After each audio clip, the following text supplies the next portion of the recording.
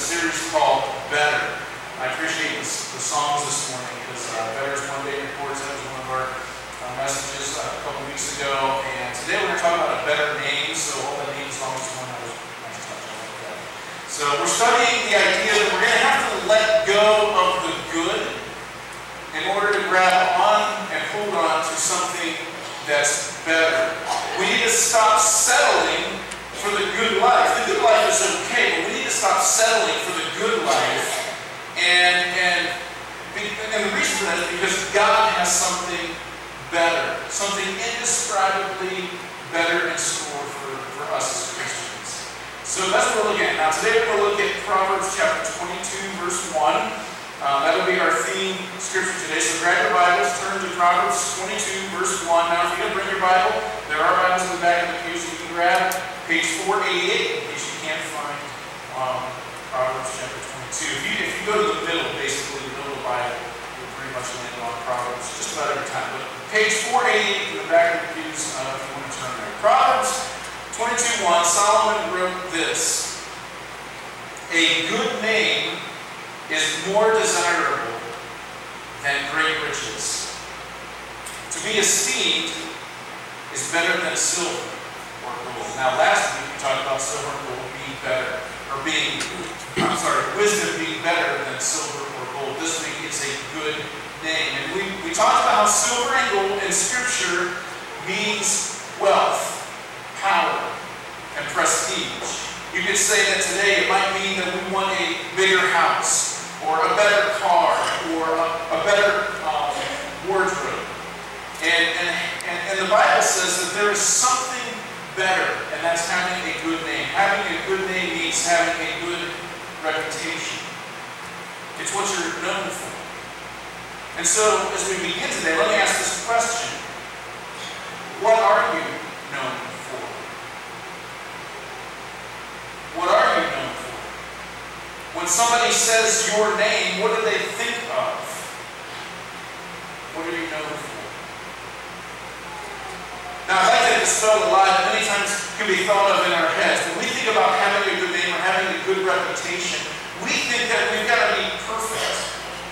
We think that we've got to get everything right in our lives, in order in our lives, in order to have this good name and good reputation about us. But I want to give you our key thought for today, and it's this. A good name doesn't mean that you're perfect. A good name means that you're being perfected by the one who is. And that's Jesus Christ. A good name doesn't mean that you're perfect, but it means that you're being perfected by the one who is, and that's Jesus Christ. Jesus is making us perfect. Isn't it interesting how a name can conjure up thoughts and ideas and notions about a person? You think of a name and you go, oh yeah, well they're the ones that do such and such, right? I want to illustrate it this way. When I say these names, think about the images, the thoughts that come into your mind. Okay, here's the first one. I'll show the pictures up on the screen. Here we go. Ready? Adolf Hitler.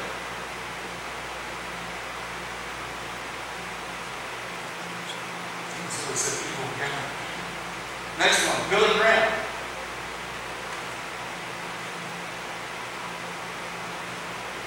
How about Dr. Martin Luther King Jr.?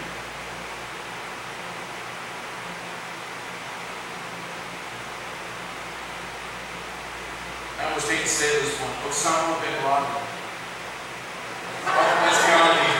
Let's skip one. Gandhi. Sorry. then Osama bin Laden. wow. Faux pas in church. That would be nice. And finally, Mother Teresa. I was in here yesterday practicing for my sermon. I was going through all these names. And my daughter's sitting here on this ledge and she goes, are you making those names up? so cute. So the person, but we know who these people are, right? When we say their names, when we hear their names, images and thoughts come into our mind. You see, a good name can be better because a name can carry both a bad and good reputation. I like what Socrates once said. He said, regard your name as the richest jewel you can possibly possess. And he goes on to say, the way to gain a good reputation is to endeavor to be what you desire to appear. In other words, envision who you are in the future and do everything you can to get there. If you can do that, then you'll have a good name, a good reputation. So a good name is better, and the question is, why? Why? Why is a good name better? I'll give you three this morning. We're going through these a little quickly.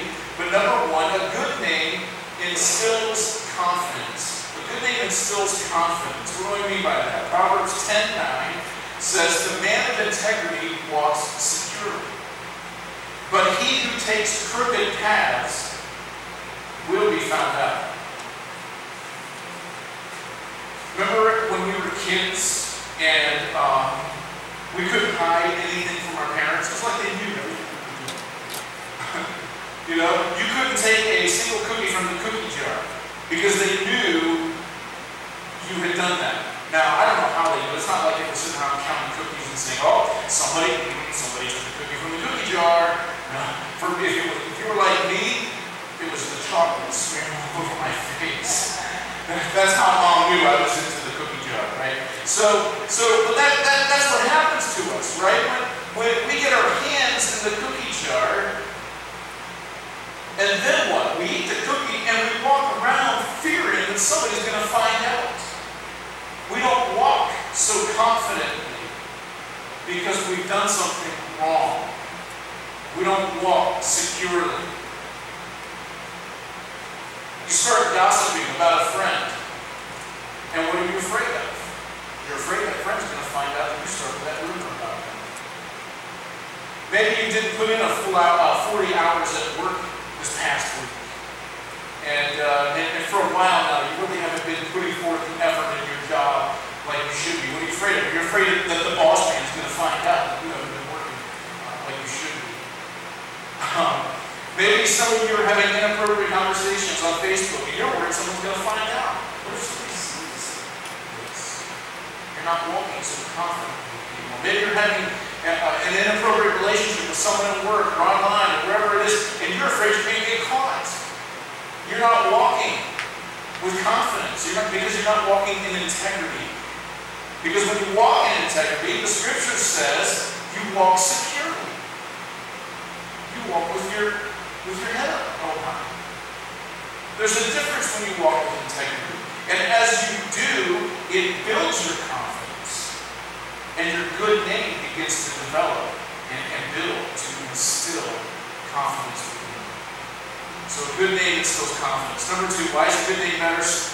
A good name speaks for you. Good name speaks for you. Now we see this illustrated. I love Second Chronicles chapter 9.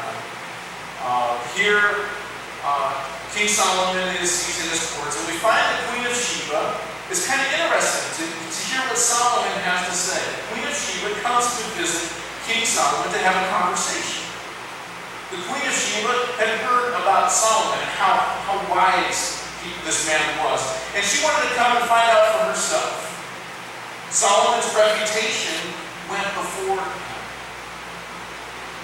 And she came to Jerusalem to test him with hard questions. Gentlemen in the room, have you ever been tested by a lady with hard questions? I see elbows being thrown out there. Now, I don't know what the queen's questions were, uh, but could you imagine him Solomon? Do I look this? now, I would love to know Solomon's answer to that question because Solomon's the wisest man on the earth. You know, and so his answer had to be really, really good, right? But I don't know what she asked you know. But anyway, she comes to King Solomon to get questions, questions. And, and she came to talk to him about all that she had on her mind. And I love what's recorded in 2 Chronicles chapter 9, verse 2. Solomon answered all her questions.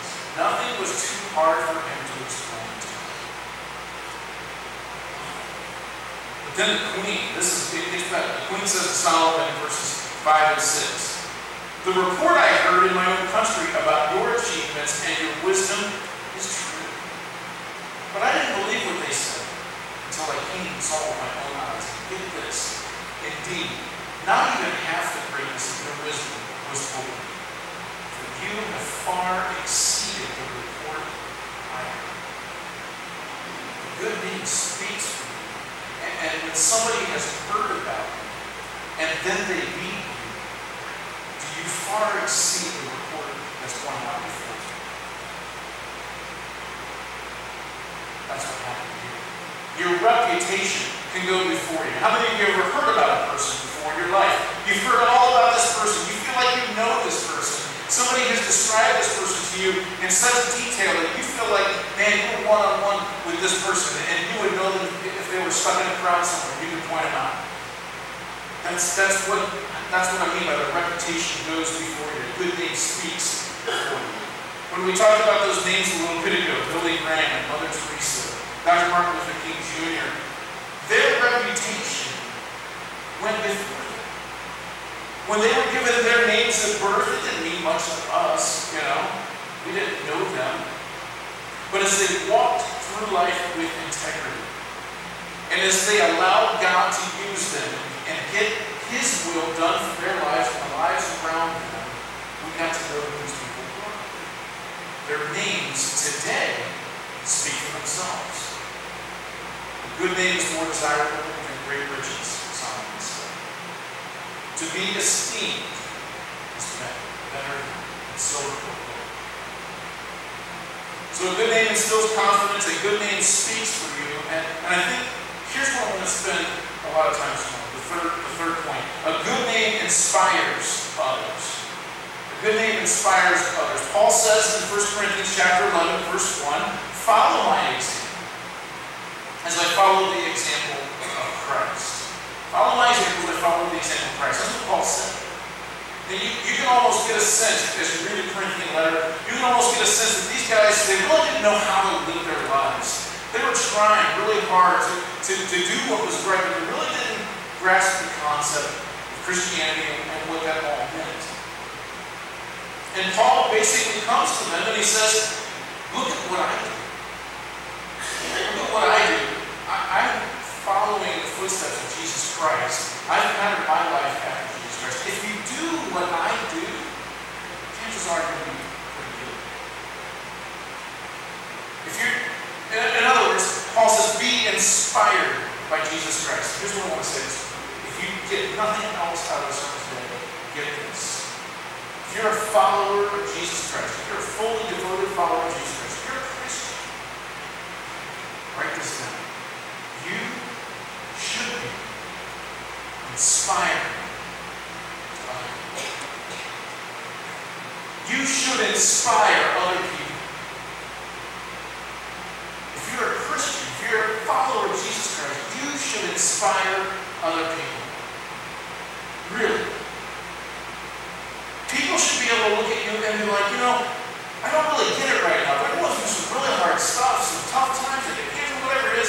They're going through some tough times. They should really be depressed and down and out. But but they're not. I don't get it. I, I, what, what, is, what is the deal here? They have this joy about them. How is that? I don't get it, but man, I want that. I want what they've got. I'm inspired by it. As followers of Jesus Christ, we all should be able to walk in such a way that people look at your life, look at our life, and they say, I want that. I want that. We should inspire other people. But you might say, well, you know, I'm not an inspirational person. You know, I'm not Billy Graham. I'm not Dr. Martin Luther King. I'm not a good speaker.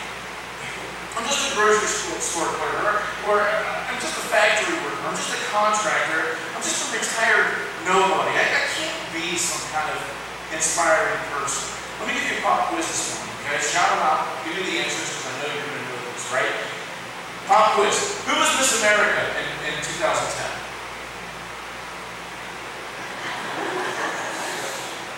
You don't know that? Come on. All right. Um, let me give you another one then. We'll try this. Who won the Super Bowl in 2007? Huh?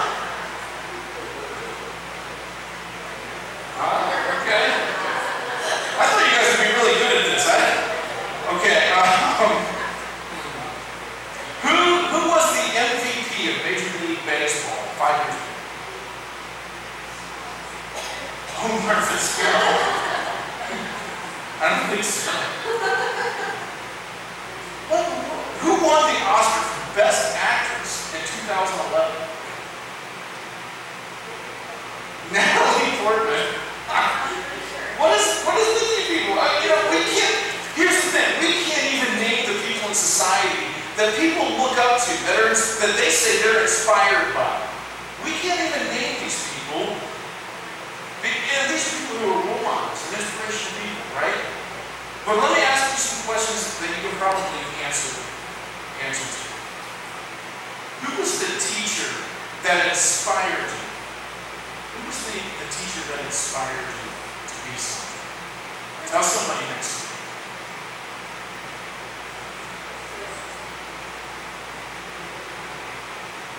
Who was that coach? Who was that coach that inspired you to be something? Who, who was that friend who was there in the deepest, darkest hour of your life? I see people putting their arms around me. That's so cool. who was your favorite Sunday school teacher?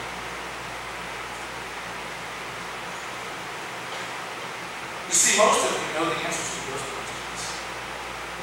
Why? Because they were people that inspired you. We can all be inspiring to others when we walk as fully devoted followers of Jesus Christ.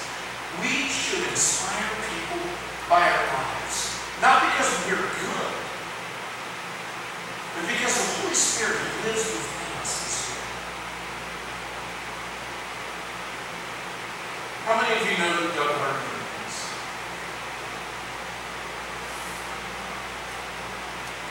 Many of you know who he is. That's okay. I who Doug Hartman is. Doug Hartman uh, was a minister of mine that inspired me to build into ministry. He was a man that I wanted to be like. He, he's the one who inspired me to go to college, to get my preaching degree, and to enter full-time ministry. Um, I stand here today on this platform product of that inspiration. Someone whom none of you knew, someone whom you'll probably never meet, is impacting your life because he led a life with a good name that inspired you. We can all be inspiration. We can all be inspiration. Every single one of us. Now, I want to acknowledge the fact that there are probably a lot of us who are thinking, yeah, I don't have a good name. You know, like, not at all. It's pretty bad. I, you know, I in. I love John's account in the book of Revelation. He records some words of Jesus in chapter 3. And here Jesus is talking to the church of Sardis, and he says, he says this, I know your deeds. you know, you, you have a reputation of, of being alive, but you were dead. Maybe you feel that way today. You feel dead because you don't have a good name, and everybody around you knows it. And I want to say this. Welcome home. Welcome home because right now you're in a place where everybody around you is on the same playing field. Uh, Romans 3.23 says, For all have sinned and fall short of the glory of God. All have sinned and fall short. That all means everybody. All means everybody. We've all sinned. It means me. It means the people on our worship team. Uh, it means everybody out there, the person on your left, the person on your right. We've all sinned. Our names are mud. But the good news is that even though our names aren't good, there's one who is. There's one name that all the kings on earth will bow down to one day. There's one name that the demons shudder at. There's one name that's above all names, and that's the name of Some of you come in here today and, you feel like you're in bondage for the choices that you made. You know, the life that you live is suffocating. But Paul wrote in Galatians 5 1 that Christ has set us free. Some of you might be saying, well, I feel distant and far from God. I don't even know if there is a God. But Ephesians chapter 2, verse 13 says, But now in Christ Jesus, you who once were far away have been brought near through the blood of Christ.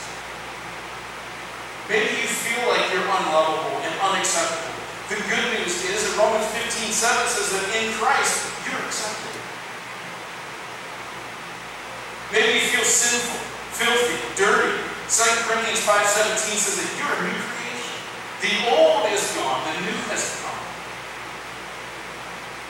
But you say, you don't know me. You don't know what I, what I did. You don't know what I've done. You don't know my thoughts.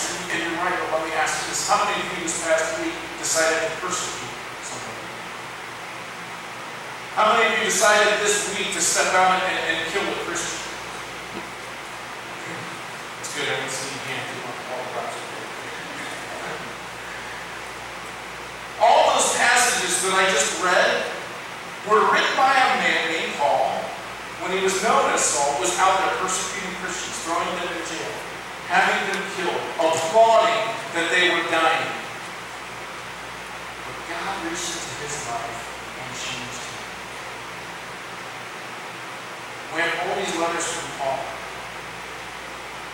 Paul wrote most almost half the New Testament. You say you're too bad? I say Jesus is too good. We don't deserve it, but he's too good. He frees us from sin. Don't let your past depend. Don't let your past determine your future trajectory.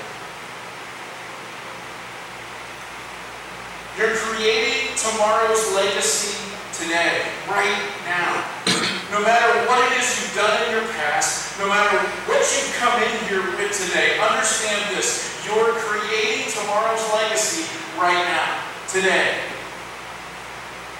Because today is a new day. I heard a story about a minister who did a funeral for a girl. And as usual, the, the minister went to the, to the home, to the family, to find out a little bit more about this young 23-year-old girl uh, so that he could represent her well in his funeral eulogy, the service. And so he shows up at the house and he asks the family, so what was this girl known for? What, did, what was she known for? If somebody mentioned her name, well, how would they know There was this long, awkward silence. Finally, somebody pipes up and says, well, she was funny. And everybody's like, yeah, yeah, yeah. She, she was funny. They started to laugh. Remember that joke she told? That one joke? It was great. She was funny, man. And then it all kind of came back down, back home. Most people said, well, that's what she known for. Another very long, awkward silence. And, and uh, finally, somebody else speaks up and he says, she loved hot sauce.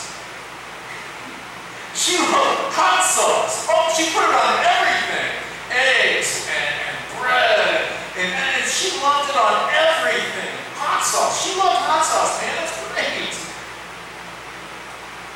What do you want to be known for? What is it that you want to be known for? That you were funny and you liked hot sauce? I know there's something better. There's something a little better. A good name, Solomon said, is more desirable than great riches. To be esteemed is better than silver and gold and hot